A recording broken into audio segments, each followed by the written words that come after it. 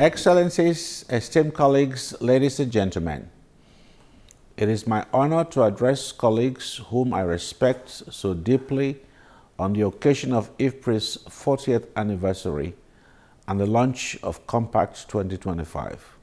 These milestones come between two historic moments of world leaders adopting a new sustainable development agenda and in four weeks' time, negotiations that we hope will produce a new global climate change accord.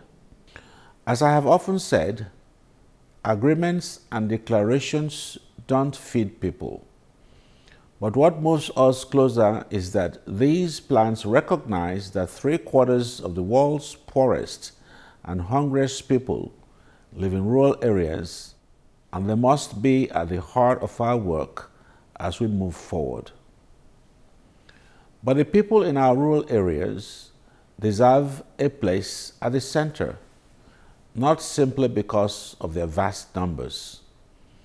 We need to focus on smallholders because they are the engine of sustainable and inclusive rural transformation.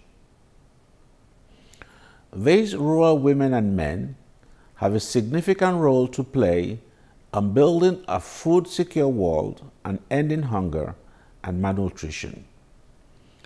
But before they can do that, they need something from us.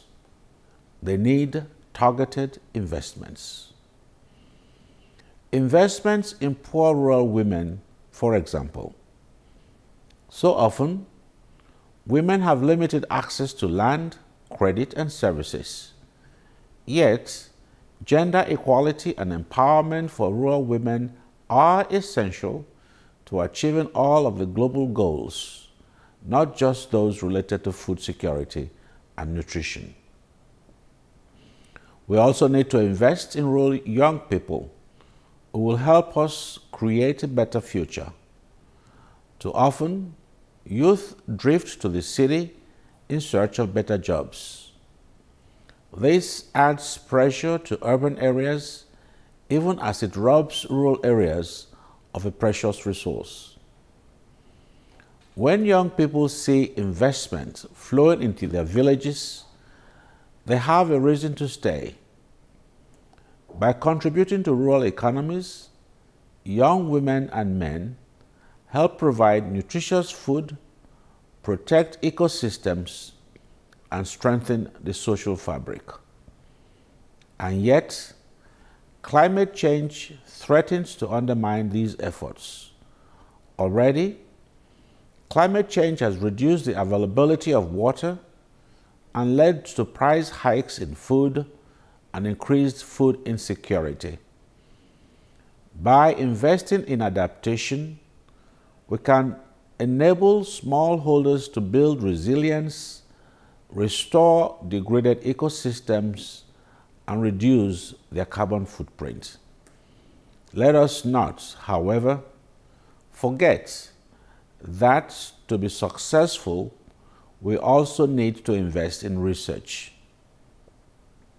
So as we look back on the good work that has been done by IFPRI and others over the past 40 years, I ask that you also look toward the future and a vision of a world without poverty and hunger, with rural women and men in our hearts and minds. It is through them, after all, that this vision will be realized.